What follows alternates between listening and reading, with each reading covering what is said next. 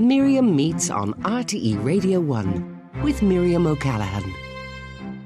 Hello there. Paul Muldoon is one of our greatest poets and has published 11 critically acclaimed full length collections of poetry, including the Pulitzer Prize winning Moy Sand and Gravel and his most recent collection, Maggot.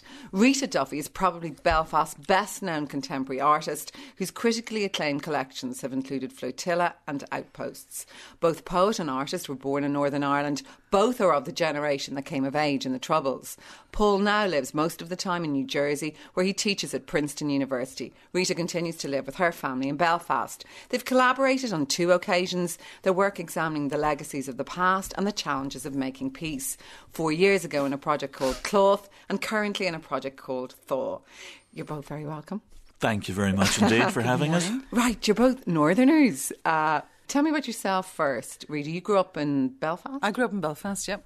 I was a home delivery in St Ives Gardens in uh, aspiring Stranmillis Road.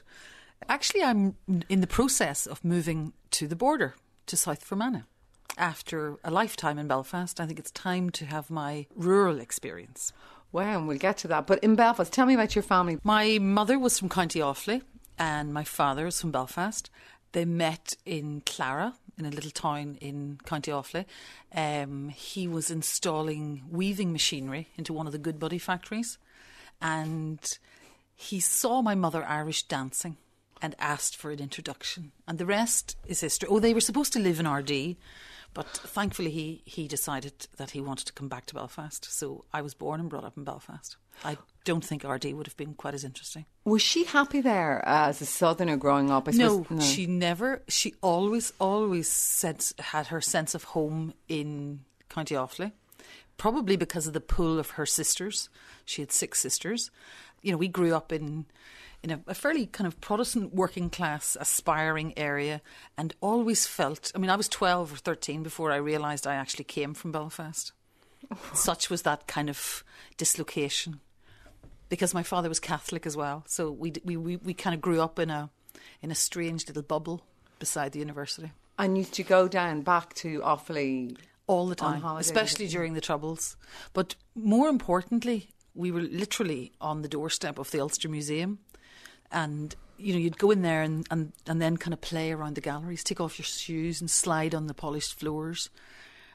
Amazing, amazing stuff to have that kind of world of strange artifacts and bits and pieces from all over the world and you know that kind of Hmm. environment was an amazing place to grow up as a child And presumably all those paintings. absolutely yeah the paintings were the the big thing you know the the and and and that kind of unfettered access to them you know literally your the world of the imagination was was just there You grew up in the Moy. I grew up in the Moy, also in a sort of bubble in a strange way. I'm sort of very taken by Rita's de- uh, description of her family in that regard. My parents were brought up in County Tyrone, um, and my mother in particular was aspirational, to use a word that Rita has just used. Um, so much so, in fact, that home delivery would not have been good enough for us. uh, we we took advantage of the recently established uh, nursing home, which of course has all sorts of connotations. But if, in that case, it meant someone where a child, somewhere where a child was delivered in Carlton House, in this case in Portadown. Um, so um, I, I was born there, brought up for a while in County Tyrone, and then my mother. We moved into a little. Uh, predominantly Catholic parish in uh, the parish of uh, College Lands in uh, in North Armagh, and we were brought up there. My mother was the school teacher. Uh, my father was, uh, well, he did all sorts of odd jobs. Um, he was a labourer. He he um, ended up growing cauliflowers and mushrooms, so he was a market gardener in that respect. Uh, and my first experiences of Belfast, in fact, were going with him to the George Street market in Belfast, where he was attempting to sell a few cauliflowers. All right, I remember that. I have vague memories of being of of going to the poultry market down on Oxford Street before Christmas, and that was at the time whenever everything was separated. You know, the fish was sold in one one, one area, the vegetables in another. But now it's kind of very trendy, sort of farmers market on a on a Saturday morning with a bit of music and stuff. And yeah, there was quite a different Belfast then. Were you both closer to your fathers than your mothers? I think I was closer to my father. He had a great sense of imagination. Now, possibly it was because my mother had a great sense of drudgery, Yeah, which doing all the maybe hard work. may well not have been her choice. But um, uh, he used to tell us stories, and you know there was that quite a you know an imaginative headspace he had. I remember him telling us stories about um, wearing lead boots. He worked on the, the flying boats, the undercarriage for the flying boats, which were developed during the Second World War. And it was a top secret mission. He had to go to the Isle of Wight and told us about, you know, the putting on the wetsuits and um, which of course would have been probably full rubber and wearing these lead boots so that you didn't tumble over. And I, at the time, I remember thinking he's making it up, you know, but it was good. You know, you went with it anyway. And you remember it? I remember this, yeah, and and I remember hearing him telling my sons the same story and realizing those weren't yarns. That was the truth. You know, I think it's it continues to be a mystery. I think for most of us, how and why um, uh, people stay together, live together, and are able to stay together for so long. Um, and my parents were very, um, very different. Uh, and but that may have been one of the reasons why they had, I think, in the end, a very good relationship. I mean, the the family. When I read uh, Sons and Lovers by D.H. Lawrence, I, I immediately connected with that setup of the um, the working man, the miner in the case of uh, uh, the the father Morel, and then the aspirational, as I said, mother who sent us out, and for example, to um, for elocution and for piano But she wanted you to do well. she, wanted had us. I for think you. you know she wanted us to do to do well, and um, you know, and that included, of course, sending us out to the Irish dancing classes too. I was kind of uh, amused when you when you mentioned that in your own background. But was she tough on you? In other words, if you ended up maybe closer to your father, was it because was she a hard taskmaster? She was a hard taskmaster, and she, she was a she was a tough woman, and I mean there was a certain amount of uh, what would one say of uh, of, physical, um, you know, a certain amount of beating done in the house, as I think there probably was in many houses in that era. What do you mean beating? Well, I mean, she she she uh, she kept a little cane, which she uh, occasionally brought to bear on us in in that era. Probably more, probably more common in that era than it is now. Of course, one would be probably put away. I don't, you know, I'm sure we, I'm sure we were driving her crazy in some sense, and that we probably deserved it in some sense. Was she affectionate? I think she was affectionate behind behind it all, and I think that um, you know I sometimes wonder if in the poems I haven't demonized her a little bit and sort of you know made the father into this extraordinarily um, you know wh- white whiter than white, holier than uh, thou presence. Uh, I don't think it was quite as simple as that. That's a little bit crude, I think, in its geometry. And, you know, as a parent myself now, I think, uh, heavens above, I do understand so much of how she would have, first of all, tried to give us as much as she possibly could. I think all her impulses were, were good ones. Uh, I'm not sure if she had the complete emotional artillery, as it were, uh, vocabulary to really help us uh, in that regard. Of which stage were you both aware of the backdrop, the violence, the society in which you were both growing up? I think I was aware fairly early on. I mean, the trouble started when I was about 12. I did some work recently where they're bringing Sesame Street to Northern Ireland, and the researchers identified that children as young as three were aware of religious divides. Were you aware? Very? Yes, I was. We were from a there was a rural background, you know, immediate in our family because of my mother's kind of homesickness, um, and also my father's um, family were from the Falls Road, and we were in the wrong area. So did you mix with Protestants? Yeah, I did, but we didn't go to school together, and that mixture stopped at the end of May. You know, in the build up to the 12th of July, you know, there's great excitement gathering wood for the bonfire. I remember doing that one year, and my mother kind of calling us in and explaining on no uncertain terms, never, ever take part in that. And in the Moy, growing up, I mean, there were many terrible areas of triangles, but the Moy was right there in the middle of some of the worst atrocities and violence in Northern Ireland. It was, you know, I, though I think that, uh, of course, every area of, the, of the Northern Ireland was affected, uh, as well as some in, in the south.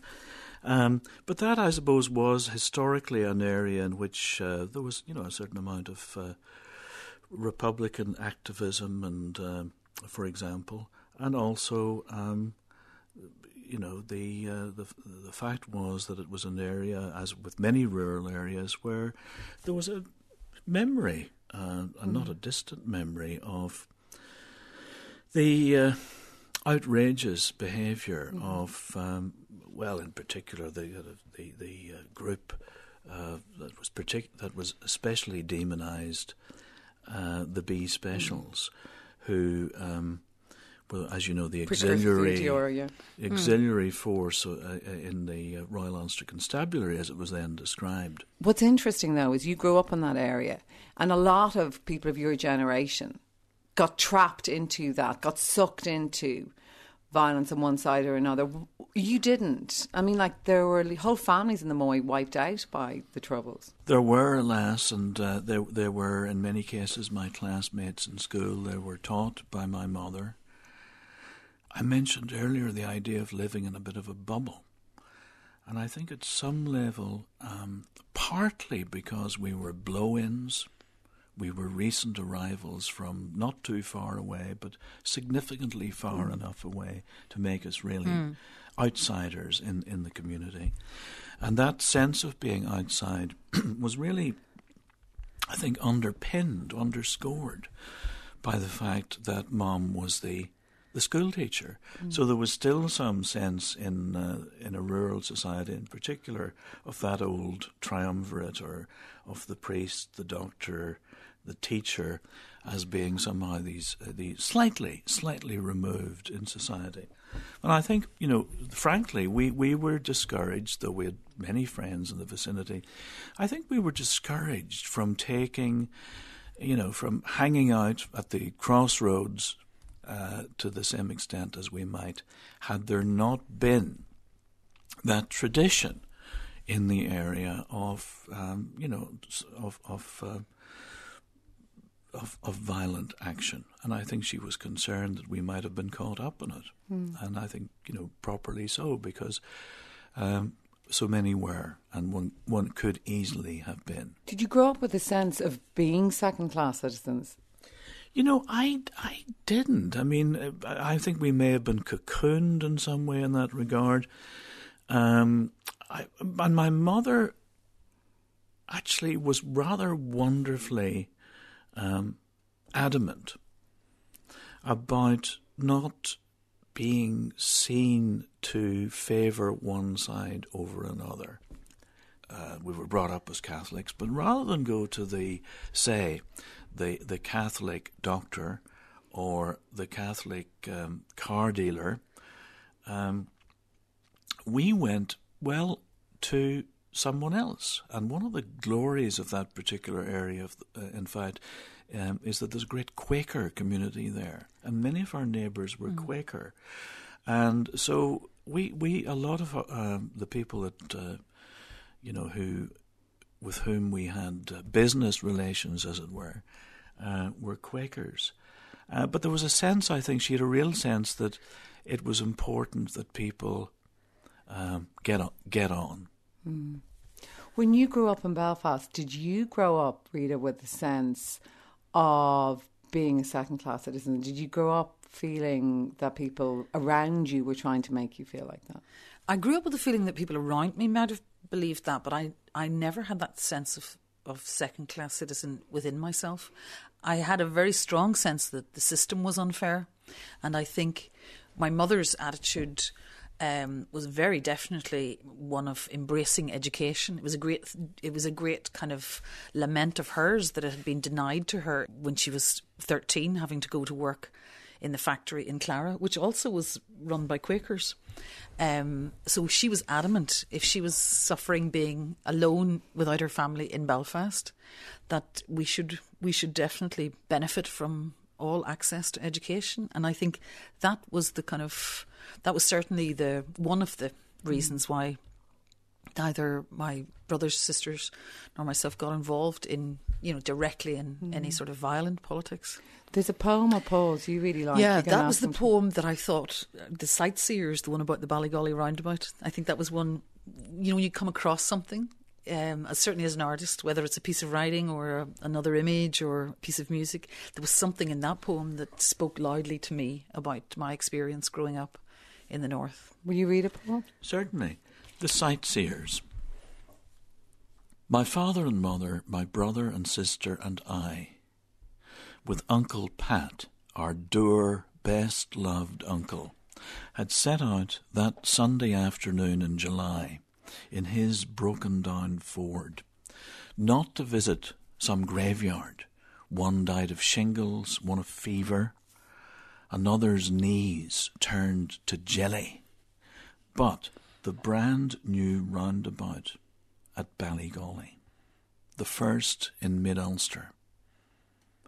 Uncle Pat was telling us how the B specials had stopped him one night somewhere near Ballygawley and smashed his bicycle and made him sing the sash and curse the Pope of Rome. They held a pistol so hard against his forehead. There was still the mark of an O when he got home. And for what it's worth, it's it's a true story insofar as we might describe any stories mm. as being true, but certainly based on a story that I heard again and again. So in that regard, there was there certainly was a sense of of, of oppression, uh, but it was perhaps not so deeply felt as I'm sure it was by many of our uh, mm. neighbours, you know. Mm. But isn't it wonderful that you can actually have that, you know, the, the impulse to actually turn something so particular, so kind of dysfunctional into something so incredible. I mean, that poem still kind of resonates with me today.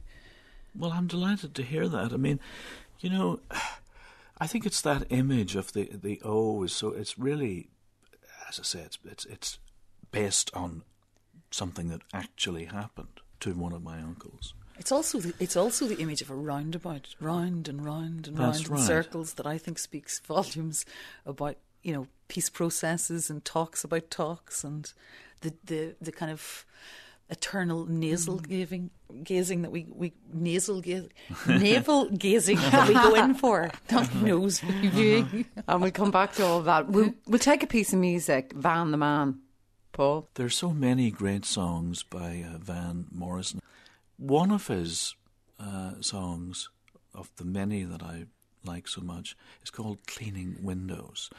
Uh, in a strange way, I, one of the reasons why I chose it today actually had to do with uh, the fact that uh, when I first saw Rita, Rita's um, work, which was quite early on, and I think I saw, I used to work for the BBC in Belfast, and one of the things I did was to uh, look after a programme that involved uh, reviews of mm. uh, films, plays, um, concerts, books, and exhibitions.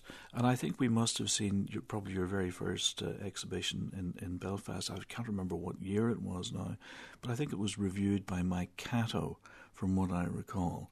And in any case, um, you know, there was a sense there that uh, one was looking at, as there is, I think, with all great art, that was one, one was looking uh, uh, as if for the first time at something uh, one might have thought one had seen, and in some sense, uh, you know, the the pain between that's the P A N E between ourselves and the world uh, was um, cleansed in some way, rinsed in some way, and maybe even though I think this song is from the pre-squeegee era, squeegeed in some way.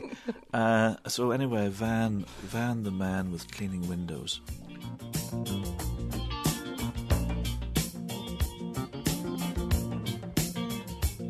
Oh, smell of the bakery from across the street got in my nose.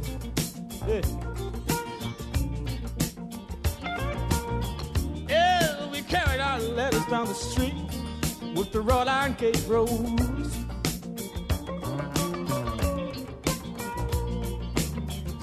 so interesting there to hear Van Morrison in the course of the song refer to some of the influences on him. I mean, I think that's uh, Sonny Terry and Brownie McGhee, for example, and that kind of litany of people uh, who, at some level, to whom he would have been responding and thinking in the way that most of us have. Mm. Um, you know, be it walking through the uh, galleries in the Ulster Museum or uh, sitting looking out a window in County Ar- Armagh, or in his case, sitting in, in uh, a back street in Belfast, and thinking at some level, I can do that. Mm. I know it's a bit of a truism. We've heard that phrase so many times uh, about how people get started. Um, but I know in my own case, it was T.S. Eliot who got me off the ground. And thinking not not in some uh, self-regarding or you know crazed way I can do that. But actually, there's something here that is attractive to me, and I'm going to have a go at this. Just because you loved his poetry so much? I loved T.S. Eliot. And in mm. fact, I still do love T.S. Eliot. Uh, he was the person who got me started. But also, you went to St. Pat's in Armagh, didn't you? Which And you had some really good teachers as well. Fantastic. Unbelievable.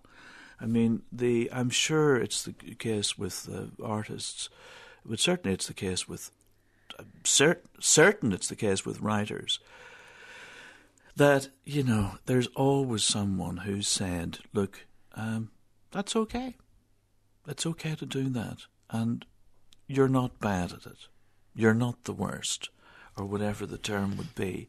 And I certainly had a range of people who did that, wonderful teachers who encouraged us to get out there to send our translations, for example, when we were teenagers, to the Astrakhan column in the Irish press, to introduce us, as another of uh, my teachers did, to the work of uh, Kavanagh, say. Mm. This was someone mm. who was coming back from uh, Dublin, where he, he had almost certainly spent some time, I was about to say done some time, spent some time with Kavanagh.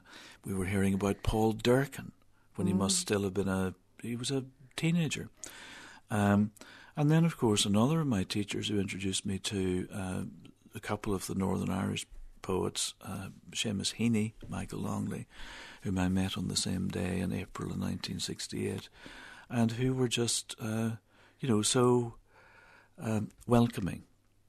Uh, so been able, been exposed to uh, the thing itself, and then being, let's say, not discouraged. Is the famous story, of course, is when you met Heaney. I'm sure you're sick of telling the story, but that Seamus Heaney said nothing can be improved in your poems. Tell me that. You know, I honestly, I, I mean, I, no, I'm not sick of hearing it, uh, but, but but the trouble is, I don't have much of a grasp on it. I'm told that uh, because I really wasn't how old privy to it. I was um, seventeen. Okay. Uh, yeah, I think I think were. I might have been sixteen okay. still. Actually, I think it was sixteen for what it's worth, just because of my birthday. But anyway. Um, I'm told that the teacher involved, Jerry Hicks, a wonderful man, singer himself, uh, and song collector said to Seamus Heaney, uh, but out of my earshot, naturally, uh, rara avis or something as a queer, queer odd bird or queer bird.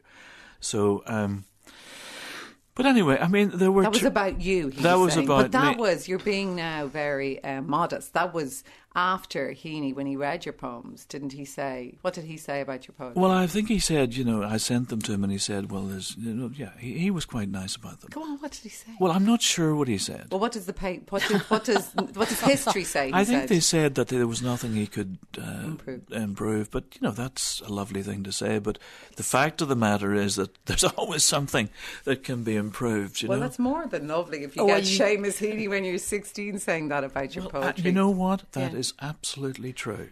And not only that, not only did he say that, but the fact is that he helped me and many others mm. to get published and helped me to get published in The Listener, which was then the big journal really in England, and helped me to get published in mm. Faber's, which were uh, and, and are the you know the major mm. English publisher. So he was so generous. It wasn't just uh, blather. He actually um, helped us How- I'm just, I'm just thinking that wonderful Irish phrase, uh, "Má le nágaí agus tucaishi," Uh-huh. you know, to, to praise or encouragement for a child. It's so is important what- at that critical It's age, massively important. How did you become an artist? I think it was probably in me for quite quite some time. I, I had great difficulty dealing with a lot of the reality that went on around me. And I think that kind of creative world was something that that I hankered after and kind of went towards. And in primary school, I won a, a little prize. And then I remember an art teacher in St Dominic's, Denise Ferran. She's um, an artist herself now, and she was massively encouraging. And I remember thinking, okay, well, I can do that. I'm good at that. And I felt good about myself doing this. And, and also, there was a whole kind of, there was a whole way of navigating and explaining and inquiring and looking at the world that was going on around me through this avenue. And interestingly, even when I look at some of your exhibitions, I mean, your work has been very influenced by the Troubles, hasn't it? I mean, and also you feel that art is almost, it has a social responsibility at some level if you grow up somewhere like the North. I'm not sure how much of that was circumstance or how much of that was choice. I do remember a conversation at art school when uh, my painting tutor, who had lived in Belfast for 12, 14 years, who was from London, like most of the other um, lecturers at the college, um, they weren't from Belfast. And he asked me, in all sincerity, you know, why people were wearing these black armbands. And I explained to him that was because the second hunger striker had died. And I remember thinking, that's really strange. You know, that you could be in a world, you could live in a city, you could be making art, and art should be maybe about s- what you're experiencing, your your reality, your place, you know, that kind of particularness to your world. And with any hope, with any luck, it'll kind of speak to somebody else, somewhere else in the world who's having similar experiences. And I remember at that time thinking, this is strange. There's something kind of not quite adding up in that if everything artistic of quality is coming from New York or London, where do I fit? How do I how do I make anything that's of any consequence for me? Mm. And I think that's when I made my decision that I wanted to make art that was about what I was living. Um, and, and what I was seeing and what I was thinking about. Well, so as we spoke about Kavanagh earlier, Kavanagh showed you could do that for the smallest place. Absolutely. Well, that's right. And, you know, uh, the aforementioned Van Morrison did it also. Um, you know, I remember as a student in Belfast um, listening, and slightly after that too, listening to, to Van Morrison, you know, with the references to the streets. In fact, I lived on Fitzroy Avenue, mm-hmm. which is mentioned in one of his, one of his songs, of course. And in a strange way, I, I was taken even then, and I've been more and more taken by the idea that at some level, at some level, Fitzroy Avenue in Belfast didn't quite exist until it had been mentioned in a Van Morrison song. And I think, you know, I, I'm very taken by this. It's a fanciful idea of Oscar Wilde's, as so many of his ideas were. He says along the way, there were no fogs before Dickens, no sunsets before Turner, the great painter, of course, who'd, who'd painted these extraordinary uh, sunsets of these. Uh, I don't know if you're a Turner fan. Oh, big Turner fan. But- way before his time. Well, yes, and you know, somehow it hasn't happened until it's happened in art. It's a little bit fanciful, but it, uh, you know, I certainly think that um, to truly make sense of Northern Ireland, for example, as we've been discussing it, I think while our historians, our sociologists, our geographers, our archaeologists, our politicians. our politicians all uh, help us to understand the place to a greater, or in some cases lesser, degree. You know, at the risk of being fanciful, I do think that if one looks at the uh, at the, at the art, these images of Belfast, of Rita's, or listens to some of the music, or reads some of the poetry, or indeed the novels, that one truly begins to get a sense of. Uh, of um, the place and what's happening in the place. But that's fascinating. But I always wonder as well if you are an artist or a writer or a poet from one of the communities, i.e., Catholic or Protestant, do you are you ever in danger of having your work hijacked? I don't think there are two communities. I think there's one community. I and I think it's a fanciful divide that kind of suits some people to see it as a kind of, you know, two communities at each other's throats. There are more similarities and more kind of. I, I, certainly regard it as one community, and that's my community. And I choose to go wherever I want, and I work on things that people don't expect me to, and and that's the great thing about art. I do think it's one community also. There's much more. We're much more akin. It's in the strictest sense. Um, i.e., in the sense of our, our DNA. We're much more akin than, than anything else. I mean, most people, it's most people want to live their lives as fully as they can without fear and to get through uh, it, with as much fulfillment as they can possibly manage. You live in New Jersey a lot of the time now. Do you manage to um, distance yourself from where you grew up or not?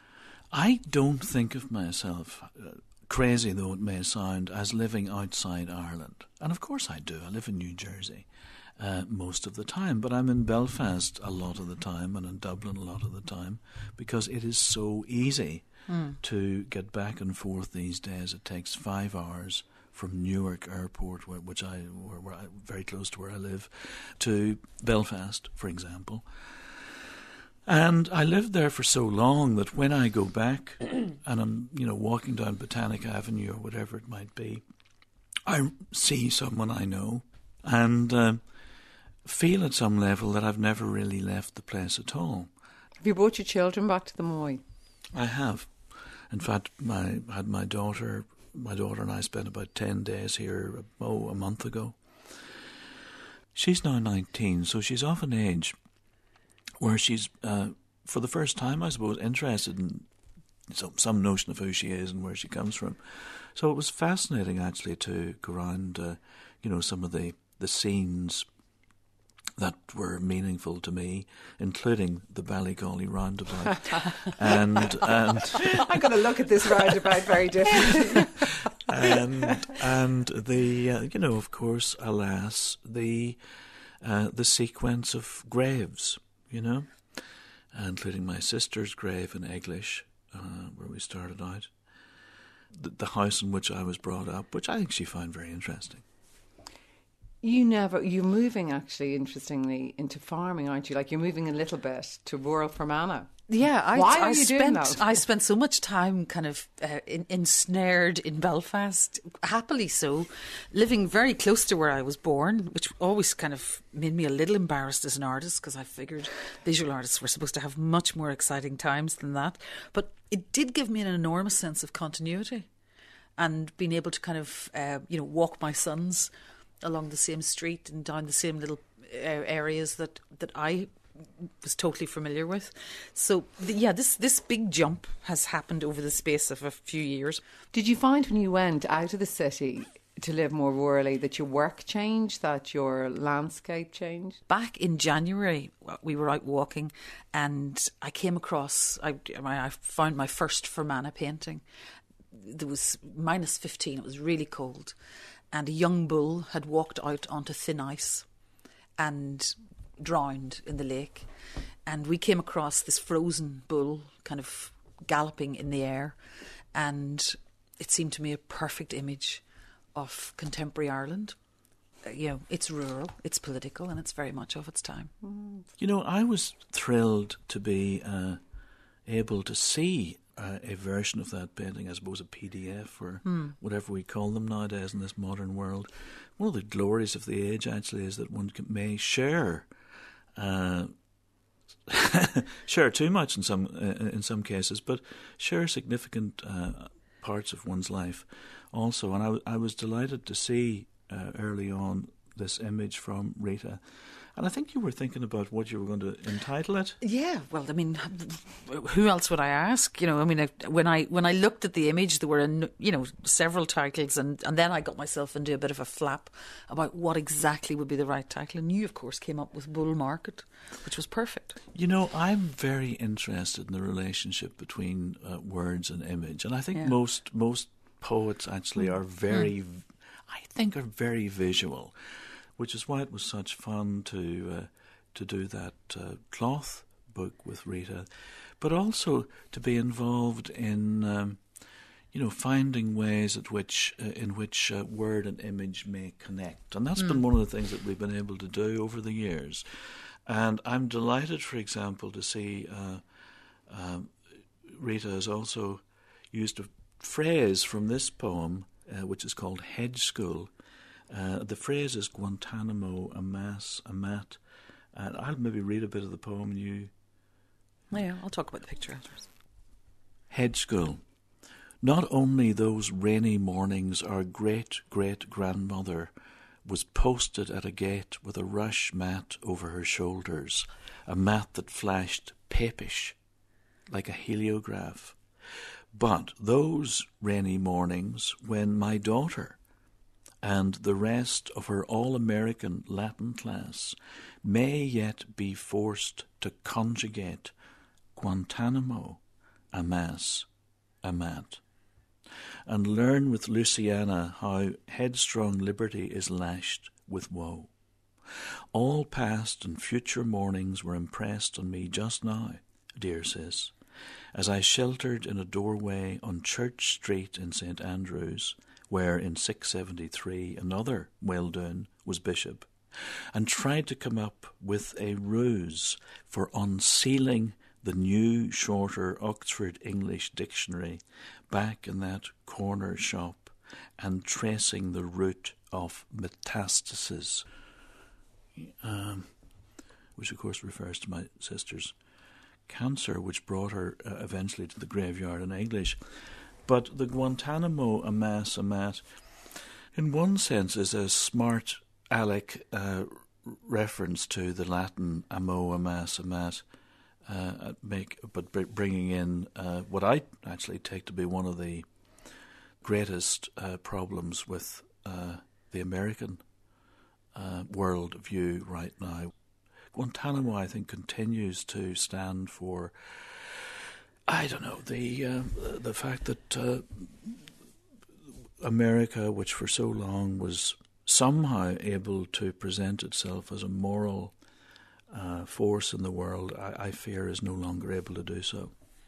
That painting um, I made after Obama became president, and one of the things he had said very hopefully, very grandly, was that he would close Guantanamo Bay. And I remember uh, when I saw those men in orange suits on the television, feeling there was something deeply, deeply problematic about the way they were dealing with this notion of terror and threat. And when Obama came out with that statement, I just was a moment of hope. And I had an, an orange jumpsuit that I used to wear in the studio when I was painting. And, you know, that painting collided and came into being. We're going to take a piece of music, but interestingly, you started talking about Guantanamo and Paul out of that, and yet the poem was also, as I knew, about your sister's death. Is it wonderful if you're an artist to be able to put down in those words a memory for someone who was so special to you, or is it just an incredibly difficult thing to do? I think it varies, but uh, you know, again, um, I'm sure one of the things that one's trying to do, the most basic thing one is attempting to do, is to make sense of one's life. Do you set out to make some of your work very difficult? No, certainly not. I mean, I know, no, no, no, no. I mean, I know some of it is a bit difficult. I mean, it is difficult. I mean, my, of course, my response when that's raised, quite understandably, is that, you know, we live in a difficult era, you know. But you know when you're onto something. You know when it's kind of when it gels or when it kind of comes together. Yes, I mean, one hopes it's, it's like you have to try harder again. One hopes one's right in that, of course. I mean, the terrible thing is that one may be wrong. You know, that one may just have got it wrong. Um, that one, I think, physically even, physically even, there may be there may be a uh, a connection. You know, Emily Dickinson has this great uh, description of how she recognizes poetry when when the when the the hair on the back of her head stands up. I think one does hmm. recognize mm. that somehow. No tears in the writer, or perhaps the painter, the artist, no tears in the reader, according to Robert Frost. So one is the first person to experience that, and at some level, uh, if it doesn't happen for you, mm. and if you don't have that feeling, it's not going to happen for anybody else.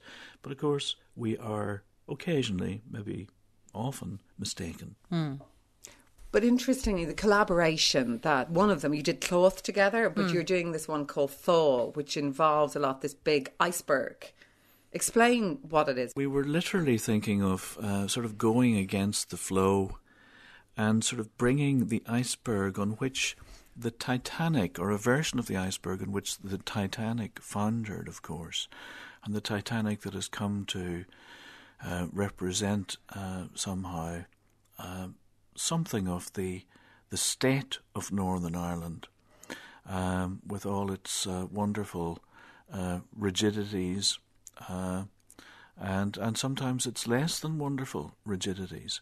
Um, that somehow we would bring the iceberg to Belfast itself, and propose metaphorically that there would be a a thawing of some of those um, coolnesses that did exist over the years and alas still do exist. But quite a lot of the Protestant community don't like the idea of the iceberg, do they? Quite a lot of them did like it. Quite okay. a lot of the artistic community didn't like it. Um, and, and an enormous amount of the international community thought it was fascinating. Um, I mean, as a as a generator for for artworks, it certainly was a large idea. And there's going to be an exhibition, isn't there, in spring 2012? Will you have an iceberg there by then? Well, you'll just have to come and see. Where'd you go to get an iceberg? You can't buy it in Newfoundland's a pretty good place to go. well, Are you going together to get it? well, fun enough, we did spend some time together in a in a spot where if there weren't icebergs, there was something very close to them in Tromsø in Norway. But look, as we close, Paul Muldoon, you're not just a poet. You now you're a rock. You're a member of a rock band. You are a guitar. How many guitars do you have? I have one or two, more than my. You have about five. I, I, I can't really speak in case my wife hears this. You know, I am not really a musician myself. I play a couple of chords on a guitar, and I love doing it. You're in a but band. I'm in a band, but I'm the per- you know. There's always one person in a band who shouldn't be in it, and I'm the one. you know what I am fascinated by is is uh, the business of attempting to write songs. It's my idea of. Uh, really fun time is attempting to write a song. So I've written a lot of lyrics, and many of them we've been recording them. We, we have a, a, band called Wayside Shrines, and I can't promise that we'll be, you know, bursting upon an unsuspecting public, but we hope to have a few things uh, out next year, and I, I hope then that uh, people will like them. We're going to go out listening to one of the songs you've written. Bruce Springsteen is going to sing it for us now, I gather. This is a song I wrote, or, or co wrote, as they say, or wrote with, I don't know, that's slightly redundant, wrote with uh, Warren Zevon, the great um, singer songwriter. But Warren Zevon himself, alas, died um, not long after we wrote this, and uh, just after his death, Bruce Springsteen uh, sang the song uh, at a concert, I suppose, and, and uh, just started his concert and sang this in Warren's memory. We've come to the end, and it just remains for me to thank you, Rita Duffy, Paul Muldoon. Paul, your latest collection is just out, Maggot. Rita, best of luck with your collaboration on Thaw. and I know the exhibition is going to open in spring 2012 in the F.E. McWilliams Gallery and Museum in Banbridge. My thanks on sound today to Noel Roberts, to my producer Eileen Heron. I'll be here at the same time next Sunday. Thank you very much for listening.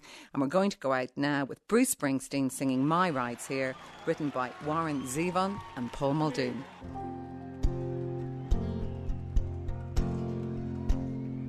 I was staying at the Marriott with Jesus and John Wayne. I was waiting for a chariot. They were waiting for a train. The sky was full of carrion. I'll take the Mazuma. Said Jesus to Mary, that's a 310 to you. My ride's here. My ride's here. Miriam meets on RTE Radio 1 with Miriam O'Callaghan.